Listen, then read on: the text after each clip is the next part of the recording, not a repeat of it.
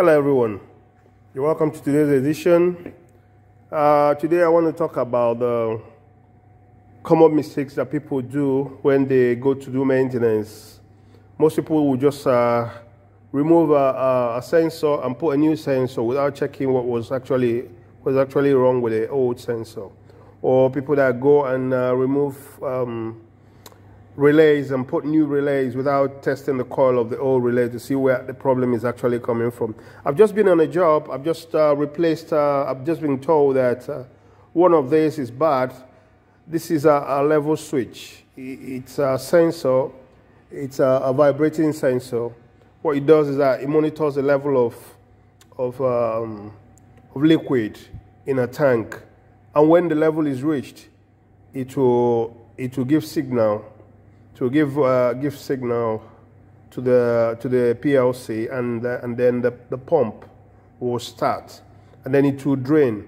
And when the level has dropped, depending on how it is programmed, when the level has dropped or when a certain amount of time has passed, it will it will become active again and be waiting, waiting to uh, ready to to turn on again.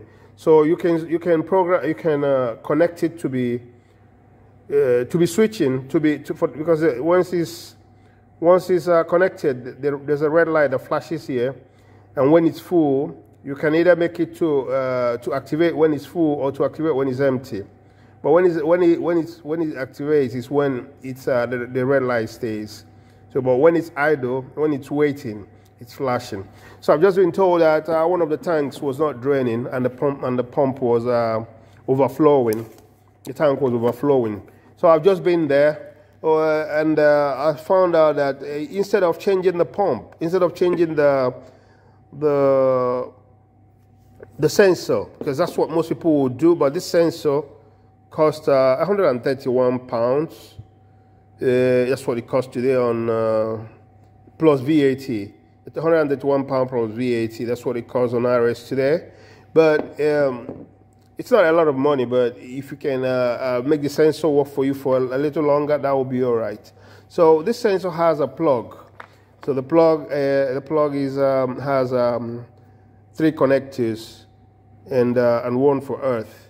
So and also it comes with instruction of how to connect it. Comes with instruction. So what I did, the first thing I did was to look at the cable where it was connected, and I found out that the cable was all twisted because it looks like when they remove it for maintenance, they just twist. They instead of unplugging the instead of unplugging the sensor, instead of unplugging the sensor, the from here, what they do is that they uh, twist it on it. So I'll just show you how it was connected, how the, the sensor should be connected, and then I'll show you how I was able to troubleshoot it.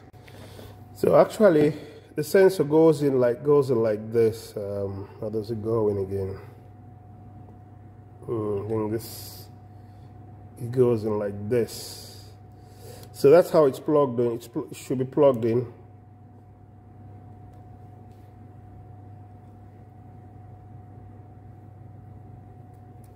So that's how it was plugged in with this uh, this one being here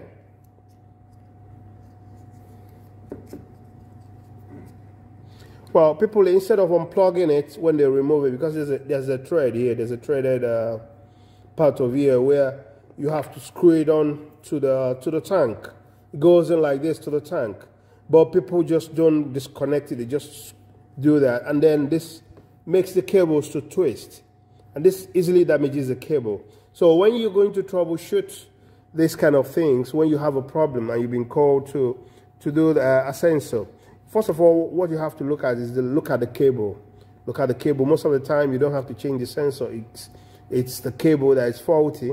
So what I what I've done is that I've just uh, replaced the this this is gunky as well.